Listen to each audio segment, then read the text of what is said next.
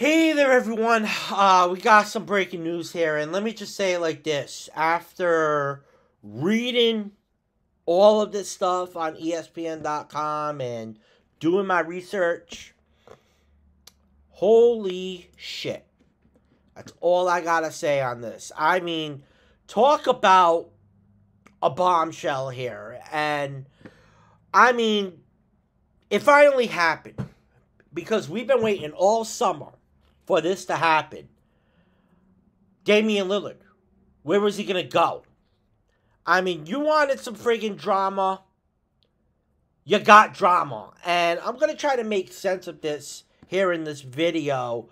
Um, what just happened. So I have all of the names that were traded. But obviously, let me just talk about the Miami Heat for a moment. They messed up big time. Pat Riley messed up big time. There's no other way to say it. I mean, Damian Lillard wanted to come to Miami. And Miami, for whatever reason, thought there was no other possible option. And they never pulled out their best offer for Damian Lillard. But friggin' Milwaukee, your direct competition in the Eastern Conference, pulled out that best offer on the table. Yo, this is a freaking rough look for the Heat, man. I mean, Damian Lillard, he tried to call the Blazers bluff. And I'll say this too, it blew up in his face. And this is an, another organization. The Miami Heat, they another resume where they wanted to bring in a star in. And they just couldn't. And you look at the Miami Heat for a moment. They lost Gabe Vincent this summer.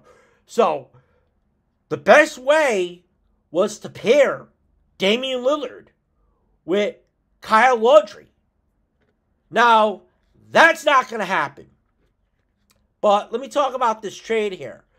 Um, I gotta say this about the Milwaukee Bucks. They easily they won this trade because Giannis was putting a lot of pressure on the Milwaukee Bucks. I, I know from what I was reading that if this was a team that was not a championship contender team, that he was going to walk out on the Bucks in free agency.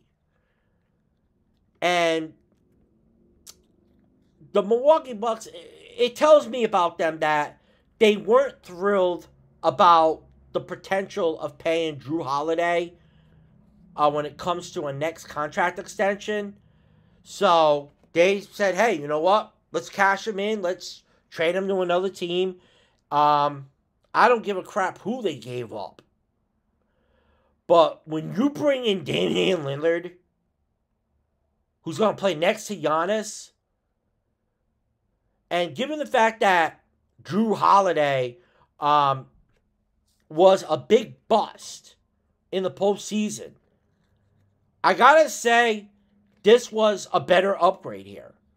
This is definitely an upgrade for the Bucks. Now, Jrue Holiday was a defensive player as well, and I know they're gonna lose somebody on the defensive side of the ball, but hey, you still got a Brook Lopez. You still got Khris Middleton.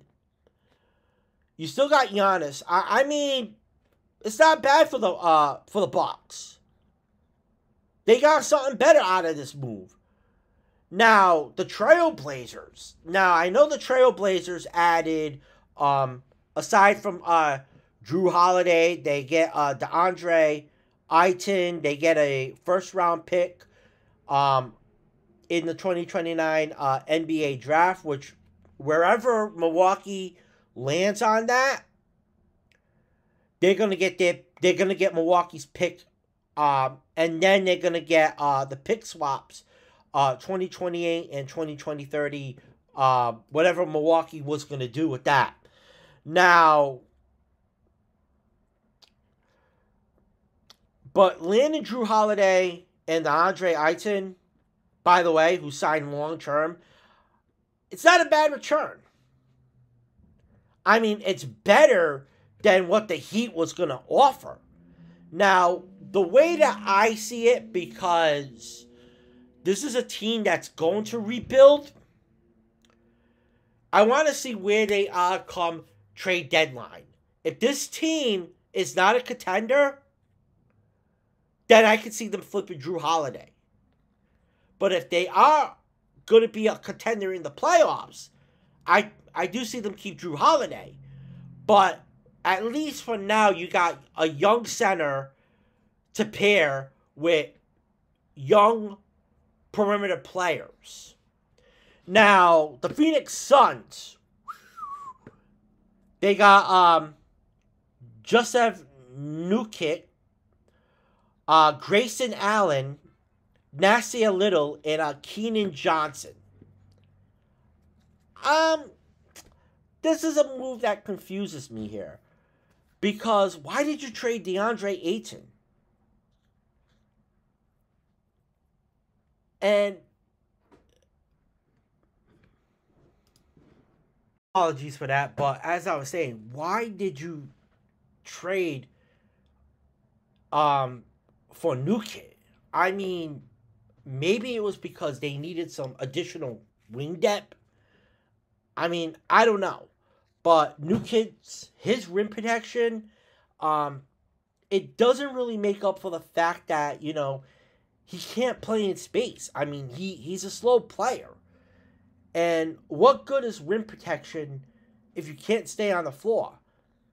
Maybe he's better as a PNR. And given the fact that the Suns, their cap sheet is so outrageous, so they basically turned one guy into a couple of cheaper contracts. Now, in that sense, it makes sense, but come on. For to get Nurkic, I didn't like that.